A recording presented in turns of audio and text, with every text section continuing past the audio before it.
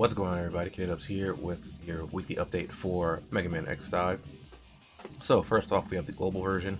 Uh, LATAM and EU are going to get the Mega Man Legends event along with the banners for those characters which NA already had earlier uh, this, no, last year at this point. And then for the NA server, we're actually going to get Awaken Zero this week uh, as our new unit. So let's scroll down and take a little read here. Uh, this week, Mega Man X Dive seems to rival Absolute Zero North America server. Uh, Mega Legend Lands in LATAM EU 2 uh, debuted back in 2021 November. Yep, that's when NebulaJoy's once again all out with the free pulls, which is always nice to see. So right here we have the details for the Absolute Zero banner uh, for the NA version. Uh, again, um, NA or the NA server will be getting Absolute Zero alongside the Twin Fangs sword. This Twin Fangs is a melee weapon, and Absolute Zero is uh, is a character we're getting, as I mentioned earlier. Uh, first skill is Crimson End, performs a dash forward, uh, damaging all targets along the path. Uh, you are invulnerable to damage while that skill is active. Second skill is Calamitous Arts, which causes targets to become slow and reduce their movement speed when they Going a little bit more is the event that we're going to get alongside Absolute Zero. I almost said Awakening Zero, that's why I paused for a second. Yeah, Together with Absolute Zero, a new event with its own stage and purchasable rewards will be available for one week in the NA server. It's called Core Chip Recycling Campaign.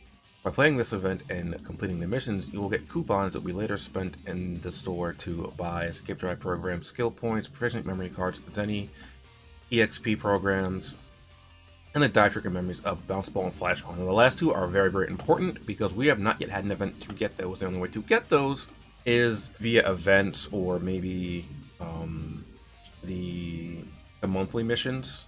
Uh, I've seen them that way in the Taiwan version. That's how I've actually got mine in the Taiwan version.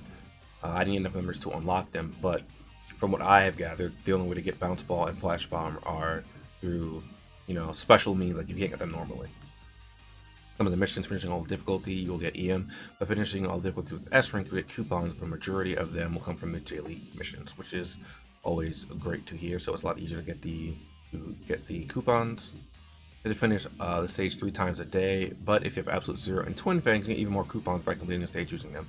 It doesn't use any EP or any online rankings. In other words, when you're done completing all difficulty with S rank, the only thing you have to do is finish it three times a day. So as per usual, uh, it has a typical like event scheme. You have bonus characters and bonus weapons, like you'll get more, more, um, more rewards from the stage.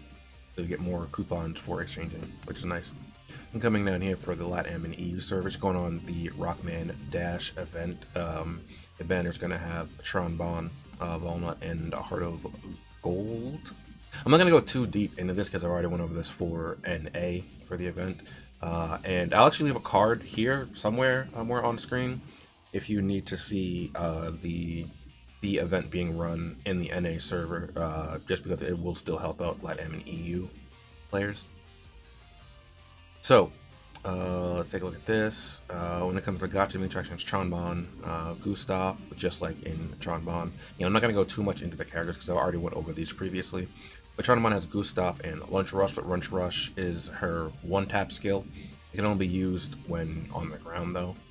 And Gustav is her like her transformation skill. She boards a Gustav like she has in the Misadventures of Tron Bonne and Mega Man Legends 2, and then both her skills change. Weapon changes to Bon Bazooka, you'll be able to use beacon bombs um, and then you still keep Lunch Rush. So not. And Mega Man Volnutt will be available as well. Uh, you can get it from playing the event stage or through the gacha. Or like if your if your research level is high enough, you could get uh, Mega Man Volnutt memories from that and put them together via that way. And then all the way down here is the popularity pickup banner, and I actually really like this right here. One because I still don't have destructive laser, but two for all servers during one week, the four popularity pickup banner with two characters and two weapons selected by the community will be available. Like the concept of this, like you just contact community like, hey, what are the most powerful? Like, which one of these units and weapons would you be the most likely to pull for? Community comes together, votes, and then this is what we get. Uh, capsule will have increased odds to get Awakened Zero Ultimate Armor X and the weapons Nightmare Destructive Laser, which is great. Uh, three out of the four weapons here are limited, and then the fourth one is just the best melee weapon. So, um, you know, we have Nightmare Destructive Laser, Awaken Zero, and Ultimate Armor X. Ultimate Armor X and Awaken Zero are DiveFest units. Destructive Laser is a um, it's a limited time weapon that only appears on the weapon banners, and then Nightmares in the regular pool. But if you don't have it, you probably want it, which is most likely why these characters ended up on popularity pickup. First free 10 pull. Oh, I'm sorry. I, I, I, gotta go back a little bit. You can use EM to pull for the capsule or buy a 10 pull ticket for 10.99 from the store or take advantage of the free 20 pulls. The first free 10 pull will come from clearing one mission during the core chip recycling event. We need to complete difficulty 3 three stars in NA server. Um, yeah, 3 stars in NA servers long and bonus for the EU and LATAM servers. So that's a bit interesting that they have different criteria for getting it. I guess it's because the NA and EU servers. I'm sorry, NA has been around longer. No, because I think EU, EU and LATAM are aren't the same. You know, whatever. Uh, it's, it's just interesting that they went with two different approaches for for getting them. And then the second one will be available on the seventh day login bonus for all servers. So as long as you're logging in at the very least daily, you'll get one free multi-pull. Uh, you know, even if you can't complete a difficulty with three stars in NA. Um, but it's a login bonus for EU and LATAM, which is still very nice. And there is one more thing that I wanted to cover for before moving on. And then the other thing I wanted to cover before moving on was that the Absolute Zero Bend is going to have a 250 pity instead of 200. Um, I don't know why that's happening, but it, it is. I couldn't tell you. I have no idea. Um, but if you wanted to pity Absolute Zero, uh, now might not be the best time to do that, just because it's five extra pulls as opposed to the, the 200 that we are used to over in Global.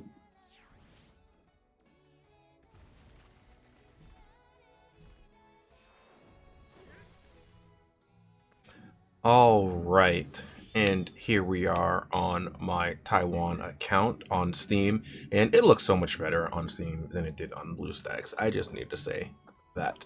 Anyway, so Absolute Zero, let's take a look at his kit. Crimson End, uh, we already looked at the skills uh, previously, but um, yeah, he's Crimson End, forward dashing slash, while swinging both claws, damage all targets along the path, you're immortal, immortal, invulnerable to damage while this is active, we have Showtime, so don't take any status effects. We have Mobility, which is the prep time by 20%. And we have Restriction off. When you hit a target, you can use Crimson End again, but this effect can only be triggered once more after 6 seconds. So you will be able to spam, uh, not, really, not necessarily spam Crimson End, but you you'll be able to use it continuously, right? So you go Crimson End, hit a target, you Crimson End again. That's very, very nice. So over here we have Calamitous Art damage to all enemies in range of your attack, and then hit them with a fat stack of slow. 86%. So here we have a power increase, which is okay. We have absolute zero, which increases the duration of slow by one second, which can be huge in PvP. And we have cursed scars. When you hit a target, leave behind cursed scars on all targets within range and damage them. Only made triggered again by eight more seconds. Now, cursed scars probably doesn't sound like anything you recognize because that's in the rest of Zero's kit. So, what? What's up? Damage reduction resistance, the chance of becoming immune to damage reduction, which is actually very, very important for um for absolute zero because he is a class kind of type character. He can deal out a huge amount of damage, but that's really all he can do. Like if he has no defense really in his kit. So Anyway, over here, it's Curse Scars. When you hit a target with Crimson End, leave a scar on all targets within range and damage them. So, coming back over here, uh, now you have access to leaving Curse Scars behind on Calamitous Arts as well as Crimson End. So that's just more damage on things. Rampage, when your health is 25% or less gain a damage enhanced status and a shield of invulnerability.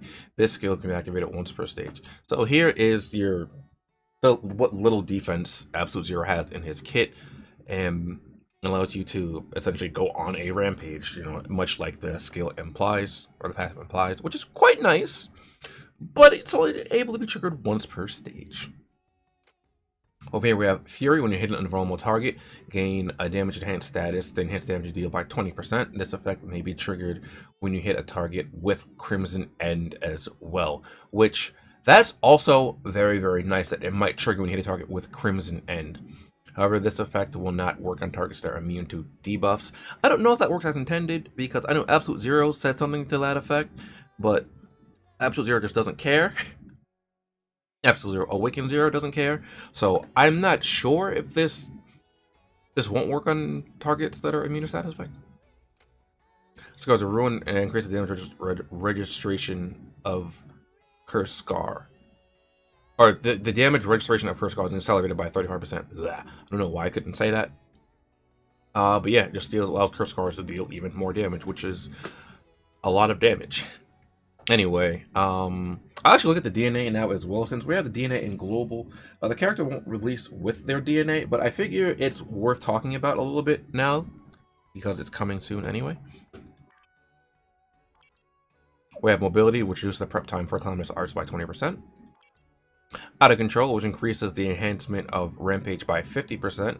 Cannot be removed, which is nice, but rampage only Rampage is only active once per stage when you're under 25%. That's also assuming that you don't get one tapped, right? Because if you get one tapped, it doesn't really do anything for you. Or like if you get brought from like 50% to 0% in one attack, it doesn't necessarily have to be a one tap, but like, you know, burst damage would also that. And Forbidden Scars, increase the damage rate of Cursed Scars by 100% and cause the target you hit to be unable to use any skill. And that is just very, very nice. So it hits them with with no skill or skill seal, and they're unable and uh, the damage rate is doubled. That's that's pretty nice. You can really deal out some some fat damage with absolute zero, but again, like I mentioned earlier, problem is he has like zero defense. So if you're if you're starting to size up a little bit, it's probably gonna last for a little while. And over here, when we look at the unique recombined DNA 5, when you equip two melee weapons at the same time, reduce damage taken by 10%. So over here, you finally have some mitigation, um, some decent mitigation, as well as, you know, you could stack it on with uh, some other things as well, but I figure like you probably are just gonna go go uh, Aeon, which is all or nothing. So you're just gonna go all in on damage and like not really worry about the defense. Although maybe you want to care a little bit just because of Rampage. All right, and here we have Command Mission Zero. I believe this card is in Global already, um, but if it's not, uh, well, here is the card for Absolute Zero. We have Wrath. Then the invulnerability time of Rampage is extended to three seconds, which is, hmm, that actually isn't really very uh, reassuring. Off off the raw card is extended to three seconds, so how long is invulnerability naturally? Is it one or two seconds? Um, that again, that can still make a you know a relevant difference, but uh, into three seconds. Um, I don't know what happened when we get this to five star, but I, I mean this is this is still worth worth having. Crisis amplification two, not bad at all. As ideally, um, you when you're in rampage range, you will be dealing a lot of damage. And the last thing I can show is uh, I actually own the weapon this time on my Taiwan account, so I can talk about the Twin Fangs. So, coming on here to the skills. Inherently, we have Ice Fang, which, when you hit a target with a jump slash, gain enhanced defense status to reduce damage you take by 14%. Chicken after 30 second cooldown. And we have Fire Fang. When hitting a target with a dash slash, you will enter enhanced state of damage. Uh, increase the damage dealt by 14% when we trigger them by after a 3 second cooldown. So that's not too bad. Uh, depending on which kind of slash you use, you will be able to react offensively or defensively, which is kind of nice. Um, it's not Nightmare though, so I mean, like, Nightmare is just the best melee weapon for PvP. So use it in PV um, in PvE, I guess, possibly, but there's I feel like I'd rather just use something else if I had it. Defense increase, which isn't bad. Uh, ultimate output increases damage when the energy is below 10%, or below 50% by 10%. We have Freezing Fang, increase the duration of Ice Fang by 50% and reduce the cooldown time to 2 seconds. So, every 2 seconds you will have access to Ice Fang, and you will have a 21, or roughly a 21% increase in damage, which is quite nice. And the same thing for Burning Fang or for Fire Fang uh, with Burning Fang. So reduced to a two second cooldown, and you'll have a 21% increase in damage off that. And for the hidden skills, we have High Speed Recharge, we have Dash Slash, Leaping Blade, and Twin Fangs. Um, I'm not sure which one of these I would like to to go with, to be honest. Uh, High Speed Recharge is probably the best one to go to um, as it will increase your your recharge speed by 25%. So in theory, you shouldn't run out of energy that way. You can just spam dash slash that way. Uh, dash slash might be usable as well, but I think I think high speed recharge is probably the best one to go with. As you won't run out of energy and you'll be able to stay below the stay within the ultimate output range. And even if you even if you did run out of energy with it you'll have more uptime because you re replenish energy faster with with this. So i i do think that this is probably the best one to have access to. All right and for the the taiwan version update for this week um, we already knew that the Taiwan version getting a rerun of the Monster Hunter event, but we're getting new units and a new event stage as well. I have not watched any of these trailers yet, so I am completely in the dark about what's going to be in them. I do, however, know of the two units as they were um, they were shown previously prior to these trailers going out. We have, for those of you that are you know aware of Monster Hunter, we have Crimson Valstrax Armor Zero, and we have uh, Zinogre Armor Iris. So first we're going to watch the Crimson Armor Zero video. Alright, and let's take a look at the Crimson Valstrax Zero.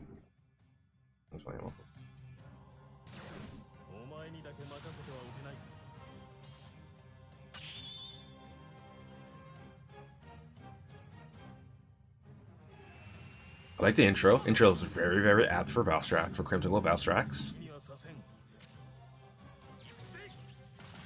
The armor looks really, really nice too. Okay, I wonder if we're to have that attack as well available to us.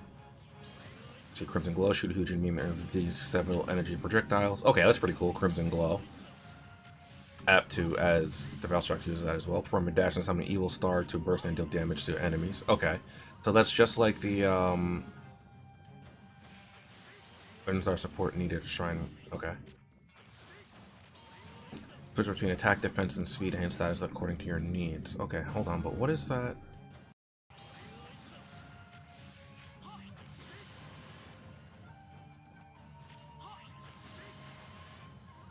Oh, there's a lot of stuff I want to know about this, but we're not going to get all be able to extrapolate all that information just from the trailer. Okay. So that's it for that. Now let's take a look at Zinogre Iris. And I do like Zinogre as a monster too, so let me turn this up a little bit. I don't know why Iris's hair is glowing as well. That really threw me off. I could I didn't know she was Iris at first.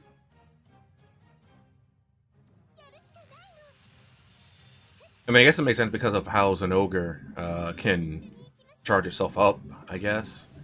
Roar unleashes a column of laser beams that will ignore terrain and will increase uh, mobility on the target. Okay. Force electrocution continuously inflict damage to all targets in range or release several additional laser orbs that will ignore terrain and have it. Oh, the, the laser orbs. Okay, so the little thunder bugs that Zinogre releases. Okay.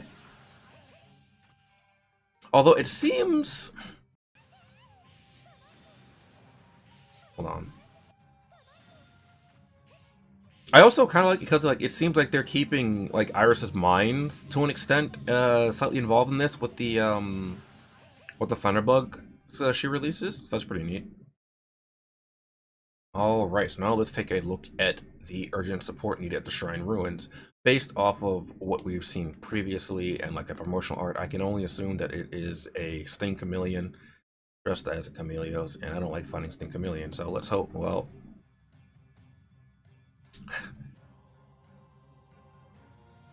Well. That's unlucky. So the Shrine Ruins. Okay, we have the Wire Bug mechanic back, as you would expect. Oh, it's a Tiggy! Tigrex. Cool. Except for invisible enemies. I mean Sting Chameleon? Wait, that didn't look like the boss, the end of the boss stage. So, hold on, wait, wait, wait, wait, wait. Okay, first of all, you can't give me that small of a of a teaser. Stop, stop, stop, stop, stop, stop, stop, stop, stop, stop, stop. But like, look at this, because like th th there's a door you enter from, but there's like another door behind it. What does that mean? says watch out for invisible enemies. It also uses enemies as in plural. Oh, I don't like the poison. No. Not the not the meatball spray from Chameleos. No, not like this. Like the Shrine Ruins, uh, though. Alright, well, I guess that's it for this update. Um, yeah, I'm actually I'm looking, really looking forward to the Monster Hunter event in the Taiwan server for this week. Uh, it'll be starting tomorrow by the time this video is uploaded, along with the other stuff that's going live for global. I wanted to wait a little bit to make sure everything was out because because sometimes I will record, or, you know, I'll record of these update videos and more stuff will come out. Um, and just actually before I sat down to start recording this one was when the XDive Twitter tweeted out that the Awaken Zero or um, Absolute Zero is going to have in, in a higher pity for this uh this banner. So it's really really good. I waited for that just to let people know about that before, in case they didn't see the tweet. Anyway, that's going to be it for uh, this video. Hopefully you guys enjoyed. If you did, be sure to like, comment, and subscribe. Helps channel, helps me grow. Shows me enjoying the content, and let me know down below uh, what you're looking forward to uh, this week in either server. Um, you know, playing Taiwan, Global, NA, EU uh, all that stuff. And I will see you guys next time. Later.